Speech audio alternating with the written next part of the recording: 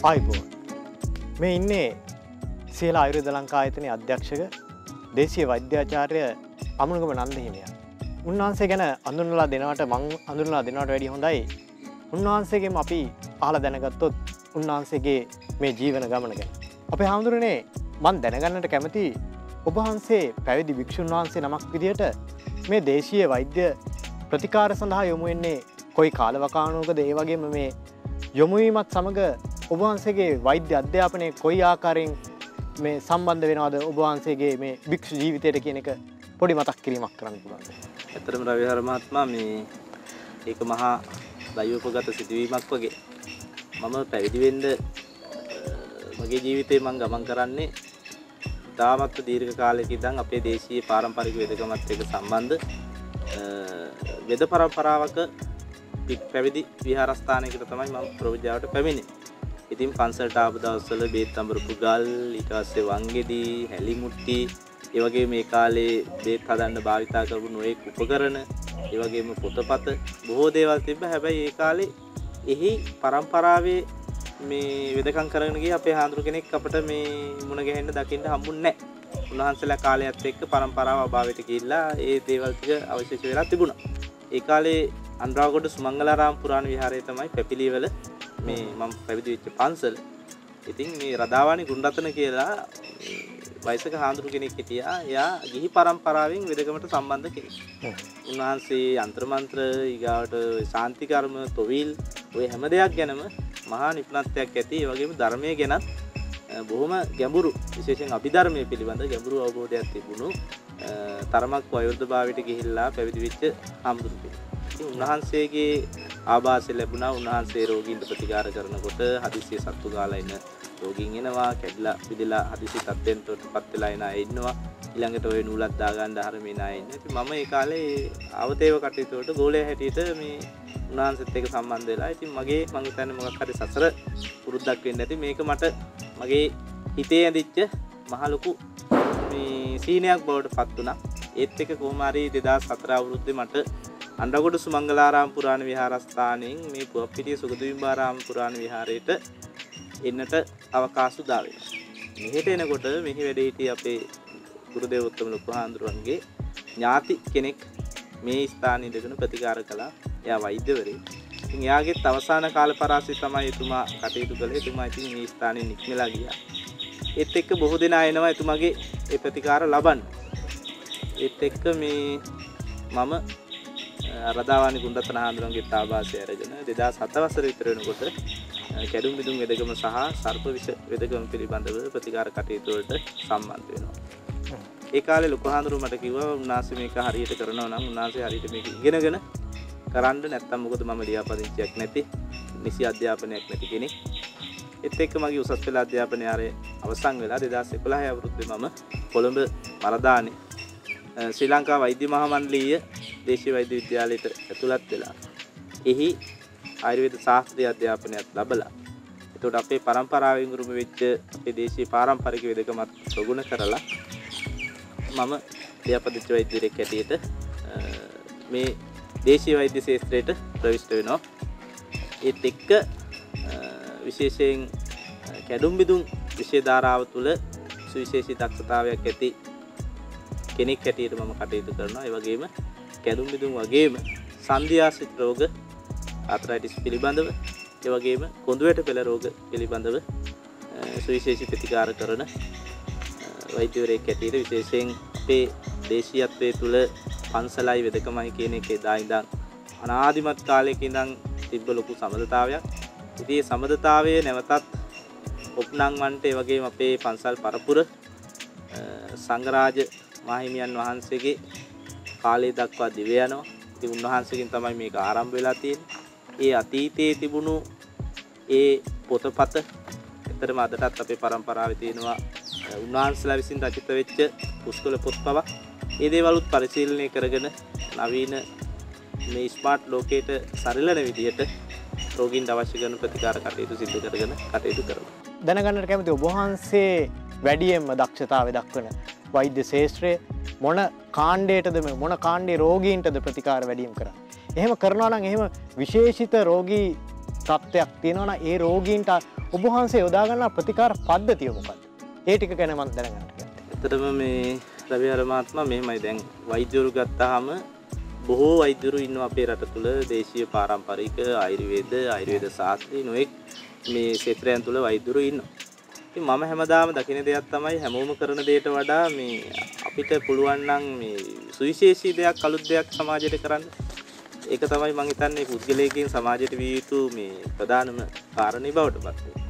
ඉතින් ඒත් එක්ක මම ආයුර්වේද ශාස්ත්‍රීය අධ්‍යාපනය තුළ සර්වාංග වෛද්‍යවරයෙක් හැටියට ප්‍රගුණ කළ යුතු විෂය ධාරාව තුළ අධ්‍යාපනය ලබලා ඉන් අනතුරුව විශේෂයෙන් කැඩුම් බිදුම් එදකම පිළිබඳව අපේ පාරම්පරික අධ්‍යයනය කළා. ඒ කැඩුම් බිදුම් එදකම එක අධ්‍යයනය කරනකොට මම දැක්කපු දෙයක් තමයි නව්‍ය විද්‍යාත්මකව බටහිර වෙදකම බොහෝ දියුණු තාක්ෂණික තත්ත්වයක් තුළ ගිහිල්ලා මේ කොඳු වැට පෙළ රෝග සම්බන්ධව ඉතාමත්ම දියුණු තැනක ඉන්නවා. ඒ කියන්නේ පරීක්ෂණ පැත්තෙන් රෝගය හඳුනා ගන්න මේකයි වෙලා තියෙන්නේ. මෙවැනි තත්ත්වයක් තියෙන්නේ. මේ සියල්ල ස්පයිනල් කෝඩ් එක පිළිබඳ රෝග සංකීර්ණයක් තියෙනවා. ඇත්තටම සමූහයක් තියෙන රෝග. මේ සියල්ල පිළිබඳව බටහිර වෙදකම තුළ නව විද්‍යාත්මකව විග්‍රහයක් කරනවා. තාමත්ම සාර්ථක. නමුත් රෝගීන් ඉන්නවා දහස් සංඛ්‍යාත ප්‍රමාණයක්. ඒ අයට අපේ දේශීය වෙදකම තුළවත් අයිර්වේද වෙදකම තුළවත් බටහිර වෙදකම තුළවත් සාර්ථක සුවයක් ලබා ගන්නට නිසි අවස්ථාවක් නැතුව අවකාශයක් නැතුව අසරණ වෙච්ච දහස් සංඛ්‍යාත රෝගීන් ප්‍රමාණයක් ඉන්නවා. ඔය කාරණාවත් එක්ක මම කල්පනා කරනවා මේ පොදු ඇට පෙළ රෝග සම්බන්ධයෙන් ඇත්තටම සාර්ථක ප්‍රතිකාර ක්‍රමවේදයක් සමාජගත කරන්නට අවශ්‍යයි කියලා. ඒත් එක්ක කොඳුවට පෙළ සම්බන්ධ සියලුම රෝග අවස්ථා අපි පිළිකා තත්ත්වයක් නොවන අනිකුත් ඊට මෙහා තියෙන ඕනම කොඳුවට පෙලා සම්බන්ධ රෝග තත්ත්වයකට ප්‍රතිකාර කරන්න ඒ වගේම මගේ තියෙන අපංකමක් සුවිශිෂ්ට නෙවෙයි මම හැමවෙලාකම හිතන්නේ මම ප්‍රගුණ කළ ඒ දැනුම් පද්ධතිය තියෙන සාර්ථකත්වය තමයි රෝගියා පළවෙනි දවසේම බලලා රෝගයාගේ රෝග තත්ත්වය පිළිබඳ පරීක්ෂා කරලා මට පුළුවන් රෝගයට කියන්න ඔයාට මෙච්චර දින ගානක් තුළ මේ තියෙන රෝග තත්ත්වය සුව කරලා දෙන්න පුළුවන් මේ විදිහේ ක්‍රමවේදයක් තුළ ප්‍රතිකාර කටයුතු සිද්ධ කරනවා නම් කියලා. අපි ඇත්තටම පොදුවට පෙළ රෝගීන් තමයි විශේෂයෙන් ප්‍රතිකාර සඳහා එකතු කරගන්න. ඉතින් ඒ අයට දින 8ක වගේ කාලයක් අපේ ප්‍රතිකාර කාලේ දින 8ක වගේ කාලයක් තුළ සම්පූර්ණ සුවය ලබා දෙන්න අපිට පුළුවන්කම තියෙනවා. හැබැයි ඒදිත් කියන්න ඕනේ මේ සියලු දෙනාටම සුව කරන්න පුළුවන් කියන කාරණාව නෙවෙයි අපි හඳුනාගත්ත රෝගීන්ට ඒ රෝගයාගේ රෝගී ඉතිහාසය ඉතාමත් වැදගත් වෙනවා. රෝගී තත්ත්වය ওই සීමාවකද තියෙන්නේ වයස කොහොමද කියන කාරණේ වැදගත් වෙනවා. ඒත් එක්කම කැඩුම් බිදුම් විෂය ධාරාව යටතේ අපේ පාරම්පරික වෙදකමේ තියෙන සුවිශේෂීම පැතිකඩ තමයි ඇත්තටම නව්‍ය විද්‍යාත්මකවත් මහා අභියෝගයක් හැටියට දකිනවා මහා විශේෂත්වයක් හැටියට දකිනවා මේ දේශීය වෙදකමේ තියෙන කැඩුම් බිදුම් වෙදකම. කැඩුම් බිදුම් වෙදකම පිළිබඳව දීර්ඝ කාලයක් ඒ තුළ නිරලිලා ඒ අයටත් සාර්ථක සුවේ සලසා දෙන්න පුළුවන් හැටියට ප්‍රතිකාර කටයුතු සිද්ධ කරගෙන යනවා.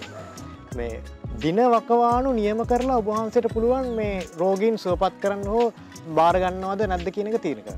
අපිට ඇත්තරම නාඩි පරීක්ෂාව තුළින් අද එතරං දක්ෂ ප්‍රගුණ කරපු අය නෙමේ අපි විශේධාරාව වෛදුර හැටියට.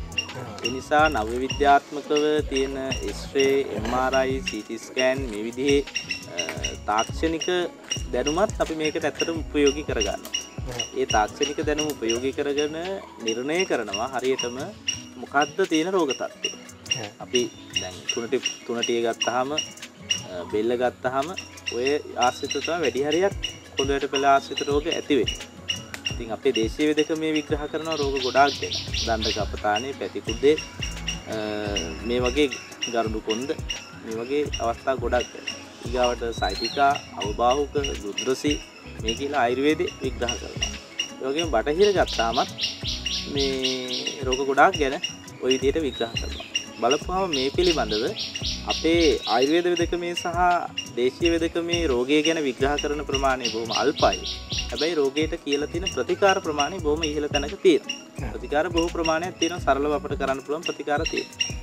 ඉතින් මං හිතනවා මංගාව තියෙන සුවිශේෂත්වය තමයි මම නව්‍ය විද්‍යාත්මකව සහ ආයුර්වේද සහ පාරම්පරික කියන මේ ක්‍රම තුනම උපයෝගී කරගෙන මේකට ප්‍රතිකාර කරන නිසා තමයි මට පුළුවන්කම තියෙන්නේ හරියට රෝගයේ හරියට නිර්ණය කරනවා නිර්ණය කළා රෝගියාට පැහැදිලි කරලා දෙනවා. ඔයාට මේ වගේ රෝග තත්ත්වයක් තියෙන්නේ. අහවල් තැනයි තියෙන්නේ. එක්ස්රේ එක අපි එක්ස්රේ බොක්ස් එකේ දාලා රෝගියාට පෙන්නනවා. මෙහෙම තැනක තියෙන කියලා MRI report එක අරගෙන යාට කියනවා. මෙන්න මෙහෙම තැනක මේ විදිහේ තත්ත්වයක් තියෙන්නේ. ඒ තත්ත්වේ පහදලා දීලා විශේෂයෙන් රෝගියා තුළ විශ්වාසය කියන එක ගොඩනගන අපි පළවෙනි අවස්ථාවේ හැටියට මේ මේ වගේ රෝග තත්ත්වයක් තියෙන්නේ. මොකද මෙතෙන් එන රෝගීන් බටහිර වෙදකම තුළ සහ අපේ වෛද්‍යවරු ගාව ගිහිල්ලා බොහෝ සෙයින් අසරණ තත්ත්වයට පත් වෙලා මානසිකවත් බිලවැටලා එන්නේ. ඉතින් ඒගොල්ලන්ගේ මනස හදන එක මම හිතන්නේ පළවෙනි කාරණා. ඒක ඉතින් රෝගය ගැන හොඳට දැනුවත් කරලා ඒගොල්ලන්ගේ මනස හදලා අපි ප්‍රතිකාර වලට ගිහිල්ලා අපි ප්‍රතිකාර පන්තිය තුල ඇත්තටම දවස් 8කින් අපිට පුළුවන්කම තියෙනවා අපි ප්‍රතිකාර කරන්නේ දවසක් කර දවසක් ප්‍රායෝගික ට්‍රීට්මන්ට් වලට යන්නේ. මේ ප්‍රතිකාර ක්‍රම වේදේ දවස් 8කින් අපිට පුළුවන් ඇත්තටම සම්පූර්ණ සුවය ලබා දෙන්න. ඇත්තටම මම දැන් කොඳුරට පෙළ රෝගීන් විතරක් 1300 ගාණක් සුව කරලා තියෙන මං ගාව ඒ පිළිබඳ සියලු තොරතුරු සහ දත්ත ඒගොල්ලන්ගේ සියලු වාර්තා තියෙනවා. මං දැනගන්නට කැමති මේ ප්‍රතිකාර කරන දේවල්ලට අමතර ඔබහන්සේගේ මේ නිෂ්පාදන කටයුතු වල වැඩ පිළිවෙල කොයි ආකාරයෙන්ද දිවයන්න කියලා. මම මුණ දීපු එක ගැටලුවක් තමයි වෙළඳ පොලේ තියෙන නොඑක් නොඑක් සමාගම් වල ආයතන වල ඖෂධ තියෙනවා. ඉතින් ඒවා මේ අපි විවේචනය කරනවා නෙමෙයි. නමුත් ඒ වගේ විශ්වාසය සහ ගුණාත්මක භාවය පිළිබඳව සමහර වෙලාවකට අපට සෑහීමකටපත් වෙන්න බැරි අවස්ථා තියෙනවා. ඒත් එක්ක තමයි මම සේලා ආයුර්වේද ලංකා කියලා ඖෂධ නිෂ්පාදන ආයතනයක් ආරම්භ කරනවා. ආරම්භ කරලා එහිත් අපි ආයුර්වේද දෙපාර්තමේන්තුවේ අනුමැතිය යටතේ අපේ පාරම්පරික සුවිශේෂී ඖෂධ නිෂ්පාදනය කරලා මේ අපේ අවශ්‍ය කරන ප්‍රතිකාර වලටත් අවශ්‍ය කරන ඖෂධ ටිකක් සකස් කරලා ඒත් එක්ක මේ කටයුතු සිද්ධ කරගෙන යනවා. ඒ අතර තව මුණ දෙන ප්‍රශ්නයක් තමයි අපේ මේ පාරම්පරික වෛද්‍ය වරුන්ගේ දරුවන්ට ඒ ආభాෂය තියෙන අයට විධිමත්ව න්‍යායාත්මක පුහුණුව ලබන්නට අධ්‍යාපන ආයතන නැතිකම. ඉතින් ඒ නිසා අපේ ගුරු වෛද්‍යවරුත් එක්කත් කතා කරලා ආරම්භ කරනවා අධ්‍යාපන ප්‍රතිකාර. එතකොට ප්‍රායෝගිකව ප්‍රතිකාර කරනවා පෞද්ගලිකව මම කැඩුම් බිදුම් සහ සංධ්‍යාසික රෝග කුඳුරට පෙළ සම්බන්ධව. ඖෂධ නිෂ්පාදනාගාරය තුළ ඖෂධ නිෂ්පාදනය වෙනවා විශේෂයෙන් වෙළඳපොළ අරමුණු කරගත්ත නිෂ්පාදන නෙමෙයි අපේ ආයුර්වේද සහ පාරම්පරික වෛද්‍යවරු අරමුණු කරගත්ත නිෂ්පාදන තමයි අපි නිෂ්පාදනය කරන්නේ.